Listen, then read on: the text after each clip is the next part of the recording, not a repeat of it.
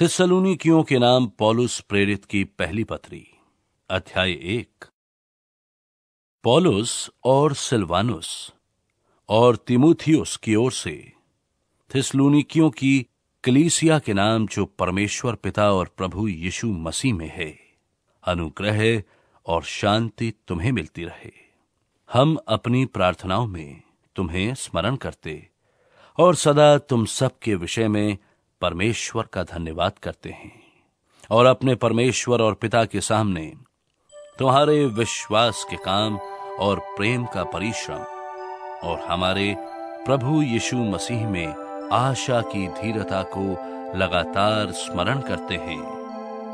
हे भाइयों, परमेश्वर के प्रिय लोगों, हम जानते हैं कि तुम चुने हुए हो, क्योंकि हमारा सुसमाचार तुम्हारे पास न केवल वचन मात्र ही में वरन सामर्थ और पवित्र आत्मा और बड़े निश्चय के साथ पहुँचा है। जैसा तुम जानते हो कि हम तुम्हारे लिए तुम में कैसे बन गए थे, और तुम बड़े क्लेश में पवित्र आत्मा के आनंद के साथ वचन को मानकर हमारी और प्रभु की सी चाल चलने लगे। यहाँ तक कि मकी दुनिया और अखिया के सब विश्वासियों के लिए तुम आदर्श बने, क्योंकि तुम्हारे यहाँ से न केवल मकी दुनिया और अखिया में प्रभु का वचन सुनाया गया, पर तुम्हारे विश्वास की जो परमेश्वर पर है, हर जगह ऐसी चर्चा फैल गई है कि हमें कहने की आवश्यकता ही नहीं, क्योंकि वो आप ही हमारे विषय में बताते हैं कि तुम्हारे पास हमारा आना कैसे हुआ और तुम क्यों कर मूर्तों से परमेश्वर की ओर फिरे, ताकि जीवते और सच्चे परमेश्वर की सेवा करो और उसके पुत्र के स्वर्ग पर से आने की बाट जोते रहो। जिसे उसने मरे हुओं में से जिलाया, अर्थात यीशु की, जो हमें आने वाले प्रकोप से बचाता है।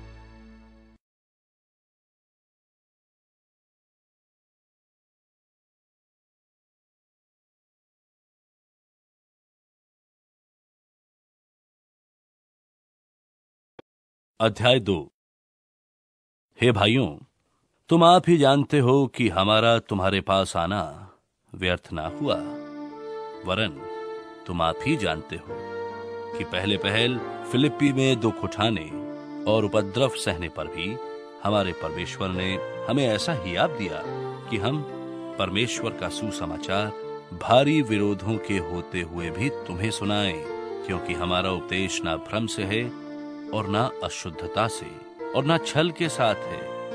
पर जैसा परमेश्वर ने हमें योग्य ठहराकर सुसमाचार सौंपा, हम वैसा ही वर्णन करते हैं और इसमें मनुष्यों को नहीं, परंतु परमेश्वर को, जो हमारे मनों को जांचता है, प्रसन्न करते हैं। क्योंकि तुम जानते हो कि हम न तो कभी लल्लो पत्तों की बातें किया करते थे, और न लोभ के लिए बहाना करते थे। परमेश्वर गवाह है। और यद्यपि हम मसीह के प्रेरित होने के कारण तुम पर बोझ डाल सकते थे तो भी हम मनुष्यों से आदर नहीं चाहते थे, और न तुमसे, न और किसी से। परंतु जिस तरह माता अपने बालकों का पालन पोषण करती है, वैसे ही हमने भी तुम्हारे बीच में रहकर कोमलता दिखाई है। और वैसे ही हम तुम्हारी लालसा करते हुए न केवल परमेश्वर का सुसमाचार पर अपना अपना प्राण भी तुम्हें देने को तैयार थे। इसलिए कि तुम हमारे प्यारे हो गए थे। क्योंकि हे भाइयों, तुम हमारे परिश्रम और कष्ट को स्मरण रखते हो कि हमने इसलिए रात दिन काम धंधा करते हुए तुम में परमेश्वर का सुसमाचार प्रचार किया कि तुम में से किसी पर भार ना हो। तुम आप ही गवाह हो और परमेश्वर भी कि तुम्हारे बीच में जो विश्वास रखते हो, हम कैसी पवित्रता और धार्मिकता और निर्दोषता से रहें। जैसे तुम जानते हो कि जैसा पिता अपने बालकों के साथ बर्ताव करता है, वैसे ही हम तुम में से हर एक को भी उपदेश करते और शांति देते और समझाते थे कि तुम्हारा चाल चलन परमेश्वर के योग्य हो, जो तुम्हें अपने राज्य और महिमा में बुलाता है। इसलिए हम भी परमेश्वर का धन्यवाद निरंतर करते हैं कि जब हमारे द्वारा परमेश्वर के सुसमाचार का वचन तुम्हारे पास पहुँचा तो तुमने उसे मनुष्यों का नहीं परंतु परमेश्वर का वचन समझकर और सचमुच ये ऐसा ही है ग्रहण किया। और वो तुम में जो विश्वास रखते हो प्रभावशाली है। इसलिए कि तुम हे भाइयों परमेश्वर की उन कलीसियाओं की सी चाल चलने लगे, जो यहूदिया में मसीही यीशु में है। क्योंकि तुमने भी अपने लोगों से वैसा ही दुख पाया, जैसा उन्होंने यहूदियों से पाया था, जिन्होंने प्रभु यीशु को और भविष्य द्वक्ताओं को भी मार डाला और हमको सताया। और परमेश्वर उनसे प्रसन्न नहीं, और वे सब मनुष्यों का विरोध करते हैं। वे अन्य जातियों से उनके उद्धार के लिए बातें करने से हमें रोकते हैं कि सदा अपने पापों का नपुआ भरते रहे, पर उनका भयानक प्रकोप आ पहुँचा है। हे भाइयों, जब हम थोड़ी देर के लिए मन में नहीं, वरन प्रकट में तुमसे अलग हो गए थे तो हमने बड़ी लालसा के साथ तुम्हारा मुँह देखने के लिए और भी अधिक यत्न किया। इसलिए हमने, अर्थात मुझ पॉलुस ने एक बार नहीं, वरन दो बार तुम्हारे पास आना चाहा। परंतु शैतान हमें रोके रहा, भला हमारी आशा या आनंद या बढ़ाई का मुकुट क्या है? क्या हमारे प्रभु यीशु के सम्मुख उसके आने के समय तुम ही ना होगे? हमारी बढ़ाई और आनंद तुम ही हो।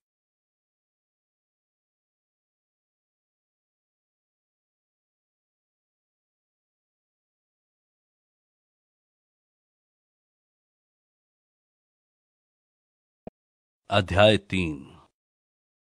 इसलिए जब हमसे और न रहा गया, हमने ये ठहराया कि एथेंस में अकेले रह जाएँ, और हमने तिमुथियुस को, जो मसीह के सुसमाचार में हमारा भाई और परमेश्वर का सेवक है, इसलिए भेजा कि वो तुम्हें स्थिर करे और तुम्हारे विश्वास के विषय में तुम्हें समझाए, कि कोई इन क्लेशों के कारण डगमगा ना जाए, क्योंकि तुम आप जानते हो कि हम इन्हीं के लिए ठहराए गए हैं। क्योंकि पहले भी जब हम तुम्हारे यहाँ थे तो तुमसे कहा करते थे कि हमें क्लेश उठाने पड़ेंगे। और ऐसा ही हुआ है, ये तुम जानते भी हो। इस कारण जब मुझसे और ना रहा गया तो तुम्हारे विश्वास का हाल जानने के लिए भेजा कि कहीं ऐसा ना हो कि परीक्षा करने वाले ने तुम्हारी परीक्षा की हो और हमारा परिश्रम व्यर्थ हो गया हो। पर अभी तिमुथियुस ने जो तुम्हारे पास से आकर हमारे यहाँ आकर तुम्हारे विश्वास और प्रेम का सुसमाचार सुनाया और इस बात को भी सुनाया कि तुम सदा प्रेम के साथ हमें स्मरण करते हो और हमारे देखने की लालसा रखते हो जैसा हम भी तुम्हें देखने की। इसलिए है भाइयों हमने अपनी सारी सकेती और क्लेश में तुम्हारे विश्वास से तुम्हारे विषय में शांति पाई, क्योंकि अब यदि तुम प्रभु में स्थिर रहो तो हम जीवित हैं। और जैसा आनंद हमें तुम्हारे कारण अपने परमेश्वर के सामने है, उसके बदले तुम्हारे विषय में हम किस रीति से परमेश्वर का धन्यवाद करें? हम रात दिन बहुत ही प्रार्थना करते रहते हैं कि तुम्हारा मुँह देखें और तुम्हारे विश्वास की घटी पूरी करें। अब हमारा परमेश्वर और पिता आप ही और हमारा प्रभु यीशु तुम्हारे यहाँ आने के लिए हमारी अगुवाई करे।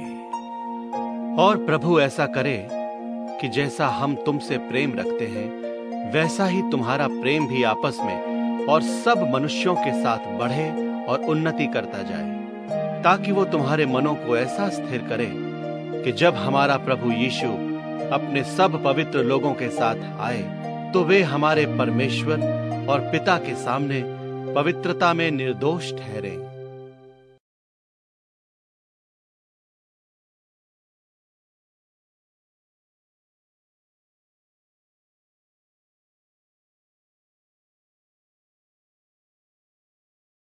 अध्याय चार। निदान, हे भाइयों, हम तुमसे विनती करते हैं और तुम्हें प्रभु यीशु में समझाते हैं कि जैसे तुमने हमसे योग्य चाल चलना और परमेश्वर को प्रसन्न करना सीखा है, और जैसा तुम चलते भी हो, वैसे ही और भी बढ़ते जाओ, क्योंकि तुम जानते हो कि हमने प्रभु की ओर से तुम्हें कौन कौन सी आज्ञा पहुंचाई। क्योंकि परमेश्वर की इच्छा यह है कि तुम पवित्र बनो, अर्थात व्यभिचार से बचे रहो।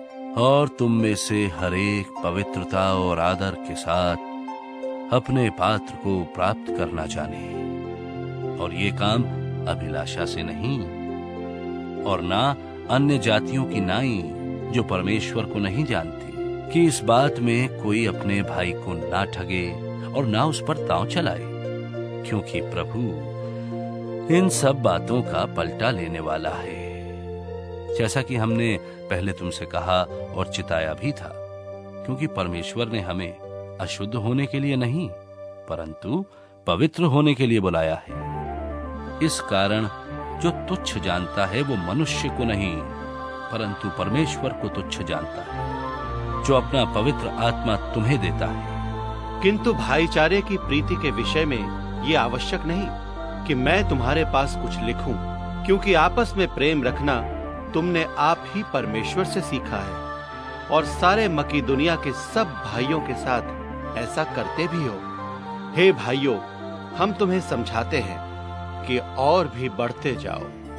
और जैसी हमने तुम्हें आज्ञा थी वैसे ही चुपचाप रहने और अपना अपना काम काज करने और अपने अपने हाथों से कमाने का प्रयत्न करो कि बाहर वालों के साथ सभ्यता से बर्ताव करो और तुम्हें किसी वस्तु की घटी ना हो। हे भाइयों, हम नहीं चाहते कि तुम उनके विषय में जो सोते हैं, अज्ञान रहो। ऐसा न हो कि तुम औरों की नाई शोक करो, जिन्हें आशा नहीं। क्योंकि यदि हम प्रतीति करते हैं कि यीशु मरा और जी भी उठा तो वैसे ही परमेश्वर उन्हें भी, जो यीशु में सो गए हैं, उसी के साथ ले आएगा। क्योंकि हम प्रभु के वचन के अनुसार तुमसे ये कहते हैं कि हम जो जीवित हैं और प्रभु के आने तक बचे रहेंगे तो सोए हुओं से कभी आगे न बढ़ेंगे, क्योंकि प्रभु आप ही स्वर्ग से उतरेगा। उस समय ललकार और प्रधान दूत का शब्द सुनाई देगा, और परमेश्वर की तुरही फूंकी जाएगी, और जो मसीह में मरे हैं, वे पहले जी उठेंगे। तब हम जो जीवित और बचे रहेंगे, उनके साथ बादलों पर उठा लिए जाएँगे। कि हवा में प्रभु से मिलें और इस रीति से हम सदा प्रभु के साथ रहेंगे। सो, इन बातों से एक दूसरे को शांति दिया करो।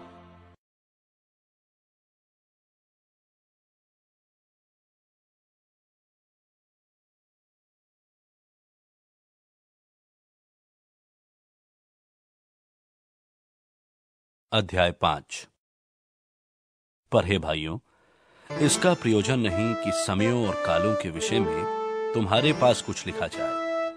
क्योंकि तुम आप ठीक जानते हो कि जैसा रात को चोर आता है, वैसा ही प्रभु का दिन आने वाला है। जब लोग कहते होंगे कि कुशल है और कुछ भय नहीं तो उन पर एकाएक विनाशा पड़ेगा।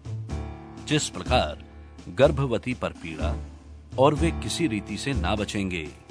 पर हे भाइयों, तुम तो अंधकार में नहीं हो कि वो दिन तुम पर चोर की नाई आ पड़े, क्योंकि तुम सब ज्योति की संतान और दिन की संतान हो। हम न रात के हैं, न अंधकार के हैं। इसलिए हम औरों की नाई सोते न रहें, पर जागते और सावधान रहें, क्योंकि जो सोते हैं, वे रात ही को सोते हैं, और जो मतवाले होते हैं, वे रात ही को मतवाले होते हैं। पर हम जो दिन के हैं, विश्वास और प्रेम की झिलम पहनकर और उद्धार की आशा का टोप पहनकर सावधान रहे, क्योंकि परमेश्वर ने हमें क्रोध के लिए नहीं, परंतु इसलिए ठहराया है कि हम अपने प्रभु यीशु मसीह के द्वारा उद्धार प्राप्त करें। वो हमारे लिए इस कारण मरा कि हम चाहे जागते हों, चाहे सोते हों, सब मिलकर उसी के साथ जिए। इस कारण एक दूसरे को शांति दो और एक दूसरे की उन्नति के कारण बनो। निदान, तुम ऐसा करते भी हो। और हे भाइयों, हम तुमसे विनती करते हैं कि जो तुम में परिश्रम करते हैं और प्रभु में तुम्हारे अगुए हैं और तुम्हें शिक्षा देते हैं, उन्हें मानो। और उनके काम के कारण, प्रेम के साथ उनको बहुत ही आदर के योग्य समझो। आपस में मेल मिलाप से रहो। और हे भाइयों, हम तुम्हें समझाते हैं कि जो ठीक चाल नहीं चलते, उनको समझाओ। कायरों को डाढ़स दो निर्बलों को संभालो। सबकी ओर सहनशीलता दिखाओ। सावधान, कोई किसी से बुराई के बदले बुराई ना करे। पर सदा भलाई करने पर तत्पर रहो। आपस में और सबसे भलाई ही की चेष्टा करो। सदा आनंदित रहो। निरंतर प्रार्थना में लगे रहो। हर बात में धन्यवाद करो, क्योंकि तुम्हारे लिए मसीही यीशु में परमेश्वर की यही इच्छा है। आत्मा को ना बुझाओ भविष्य द्वाणियों को तुच्छ ना जानो। सब बातों को परखो जो अच्छी हैं, उसे पकड़े रहो। सब प्रकार की बुराई से बचे रहो। शांति का परमेश्वर आप ही तुम्हें पूरी रीति से पवित्र करे और तुम्हारी आत्मा और प्राण और देह हमारे प्रभु यीशु मसीह के आने तक पूरे पूरे और निर्दोष सुरक्षित रहे। तुम्हारा बुलाने वाला सच्चा है और वो ऐसा ही करेगा। हे भाइयों हमारे लिए प्रार्थना करो। सब भाइयों को पवित्र चुंबन से नमस्कार करो। मैं तुम्हें प्रभु को शपथ देता हूँ कि यह पत्री सब भाइयों को पढ़कर सुनाई जाए। हमारे प्रभु यीशु मसीह का अनुग्रह तुम पर होता रहे।